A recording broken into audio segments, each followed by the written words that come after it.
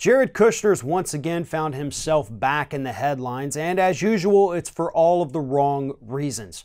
This time, it's because reports are telling us that Jared Kushner is actually the person inside the White House trying to convince Donald Trump to believe Saudi Crown Prince Mohammed bin Salman's story that they absolutely did not kill uh, U.S. permanent resident and journalist Jamal Khashoggi.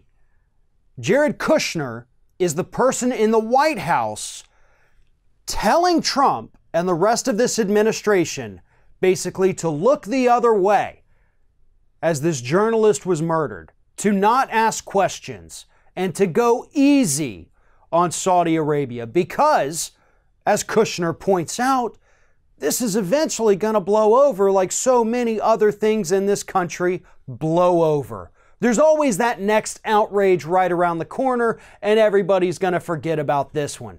Um, according to reports, Kushner actually talked about the fact that, hey, yeah, I mean, remember a few months ago when Saudi Arabia killed 40 children on a school bus coming back from a field trip and everybody was outraged and then everybody forgot? Yeah, it's going to be the same thing with this dead journalist that was ripped to pieces with a bone saw. That's what Jared Kushner is advising the president right now.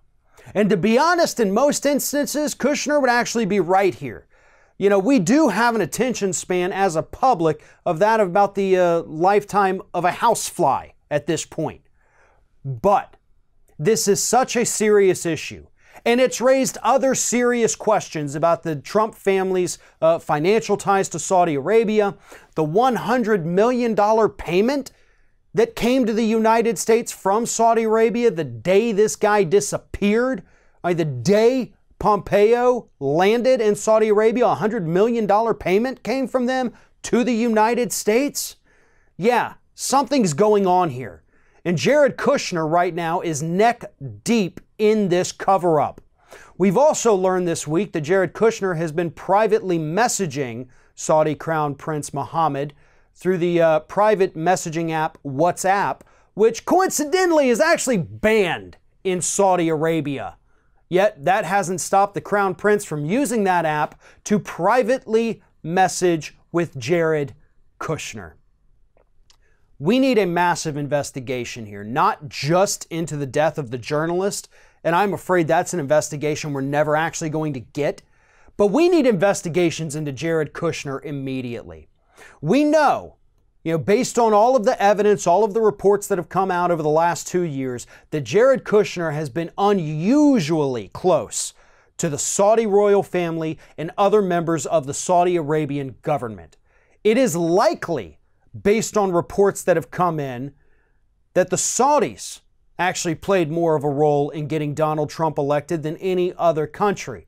We know that Robert Mueller has a little bit of information on that. Maybe it was enough to go on, maybe it wasn't. But Jared Kushner is at the dead center of all of this.